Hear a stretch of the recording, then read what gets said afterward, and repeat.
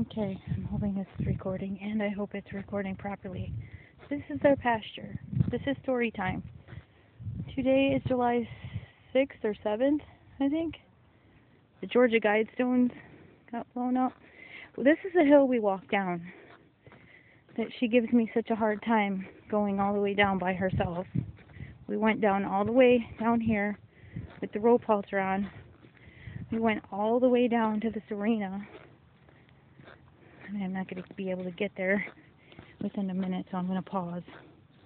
Okay, well, she gets hung up right there. She gets hung up halfway and doesn't want to go down, but I did urge her on.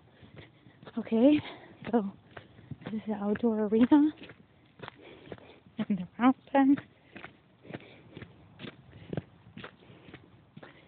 This gate right there that you see open, well, we opened that one and walked in there, and we shut it while I was on top of her with a rope halter. Then we went to this gate. I'll continue on the next video.